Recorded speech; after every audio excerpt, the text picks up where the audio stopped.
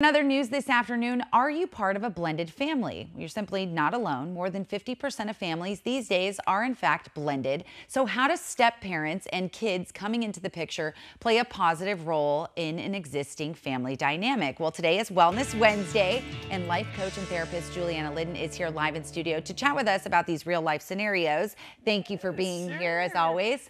This is a tough topic because uh, we know a lot of people are impacted by it. So let's just start with advice for step parents parents when children are younger coming into the picture versus maybe older. Yes. And then you're trying to play mom or dad. Exactly. So when they're younger, it's much easier, okay. right? You can get into their world more easily. You can play with them. They connect more easily. Mm-hmm.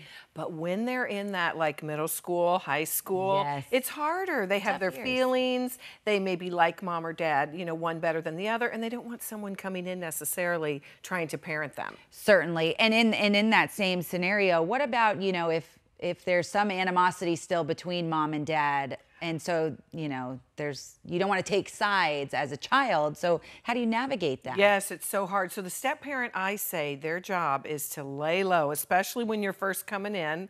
Do not try to be the parent. Okay. Your job is just to try to connect. And support to, yeah support try to get to know the kids.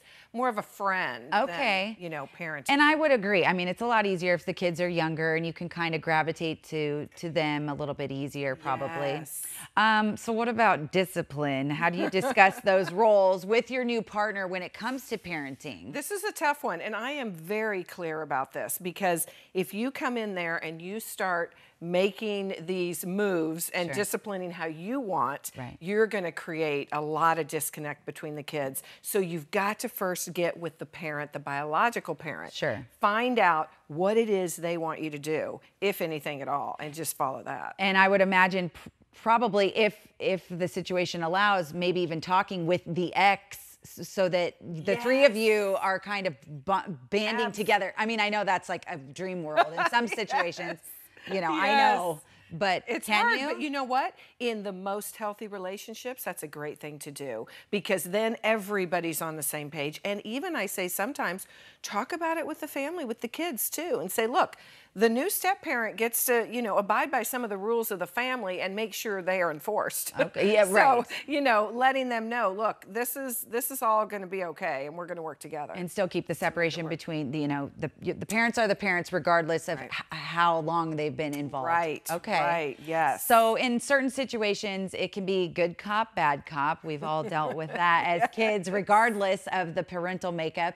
So although step parents are usually outsiders already, so how do you the family dynamic as that team. Yes. So this is where, again, the parents, including the step parent, they are the nucleus of the family. So when you are setting this up originally, it is so important that you have the ground rules, that you set up how it's going to look. And I remind step parents, really lean into the biological parent. Listen, pay attention to how they want to discipline, how they want to work things out with the kids, and be the best supporter. Now, it, and it sounds like a lot of responsibility naturally does fall on the adults and the parents in those situations. Yes. I do want to ask um, for, for older kids, what can they be doing to help the step parent feel comfortable and, and feel like they're an ally and part of the family as well? I like that. Yeah be kind. You know, I mean, you know where I see the biggest problems?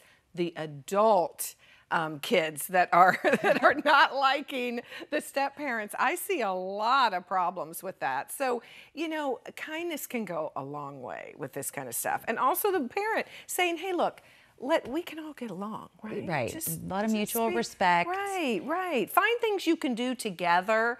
Uh, you know, go to the games, listen, get in their world, watch a movie together, try all that stuff. I love that. Similar activities and interests. We're going to yes. talk more about that. She's yes. not going anywhere. So if you do have questions for Julianna, feel free to text us right now 602 444 1212.